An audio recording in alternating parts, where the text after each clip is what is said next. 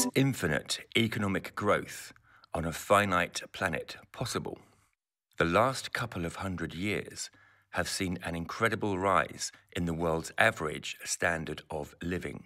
This increase in living standards is a result of unprecedented economic growth. But a negative effect has accompanied that growth environmental degradation. Phrases such as peak oil and climate change have led many to conclude that we have reached the limits of economic growth, and if that growth is not curbed, it will ultimately destroy the earth and all species that inhabit it. Yet there is a conceptual error being made when economic growth is equated with environmental degradation, or, at the very least, with the increasing consumption of the Earth's resources. Despite their close connection in the past, it is theoretically possible to have limitless economic growth on a finite planet. What is needed, however, is to turn theory into actuality by decoupling or separating economic growth from unsustainable resource consumption and harmful pollution. Planet Earth, the source and limit of growth. Life, all of life, depends on the resources of Earth to survive. It is impossible to conceive of a world in which there is absolutely no consumption of these resources. People need to drink water and eat food. Beyond that, humans have found that using other resources such as wood have enabled them to build fires to stay warm and structures to shelter them from wind, rain, and snow. The use of such resources has enabled humans to not just live, but also to improve the quality of their lives. The improvement in quality of life is what motivates the desire for continued economic growth. But throughout history, economic growth and improvements in people's standards of living have increased relatively slowly. The situation changed dramatically around 200 years ago. While much of this economic growth and improvement in living standards has been concentrated in certain nations, developing countries have also seen increases per capita with economic growth, higher life expectancy, and decreases in mortality rates from disease and malnutrition. Yet this economic growth has also been accompanied by massive consumption of Earth's natural resources and environmental degradation. Furthermore, whilst climate change is not something new, research indicates that the increases in global temperatures since the last half of the 20th century are most likely the result of human activity. The massive increases in consumption of the Earth's resources and the environmental impact of industrial activity have led many to conclude that economic growth is unsustainable.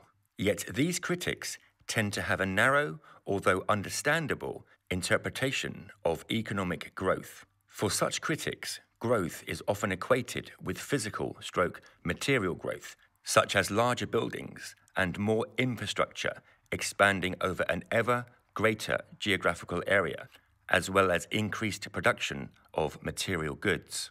Although much of the economic growth in the past has coincided with physical growth, the concept of economic growth doesn't depend on it. So, what is economic growth? Economic growth is the increase in real after inflation GDP, where GDP is the total value of the domestic production of all goods and services. The key word here is value. Economic growth occurs when the value of real GDP increases. There are two ways in which value can be affected. One is what critics of economic growth tend to focus on an increase in the quantity of production. The other way, however, is to increase the quality of what is produced.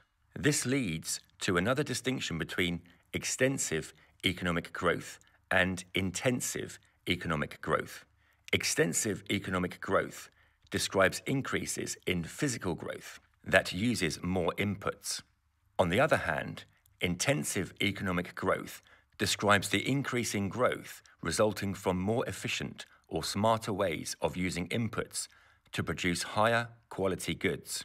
Also remember that GDP doesn't just measure the production of goods, but also services.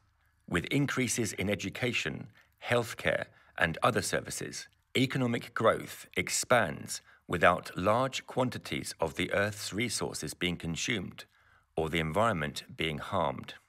In fact, some economic growth can be good for the environment and reduce our dependence on natural resources. That includes expanding public transportation and making it more efficient, improving the energy efficiency of homes and businesses, producing more fuel, efficient vehicles, investing in non polluting industrial processes, and cleaning up industrial waste sites. Sustainable development. Because economic growth doesn't mean infinite increases in our consumption of natural resources or environmental degradation, it is possible to separate economic growth from physical growth and its harmful effects. It is the possibility of decoupling that has motivated the Sustainable Development Movement.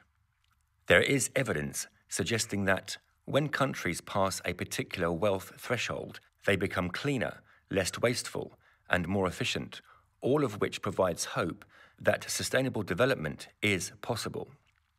Rich countries, however, tend to export much of their resource intensive and environmentally damaging economic activity to poorer countries.